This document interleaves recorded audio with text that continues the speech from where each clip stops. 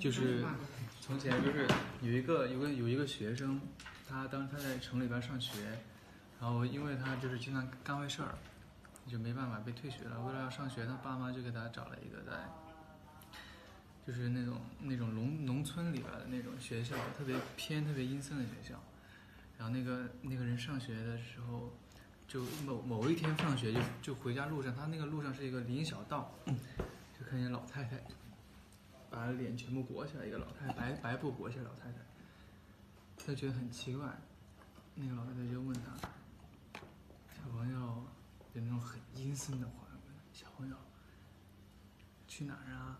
那个那个小男孩就没理他，就跑了。第二天呢，放学，那小男孩又看见那个老太太了，还是一样的装扮，又他他这次就有点好奇啊，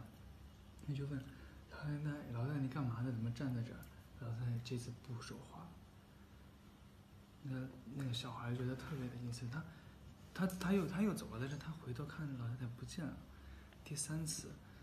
又遇到这个老太太，回家路上，这个老太太把那个面筋慢慢的往马正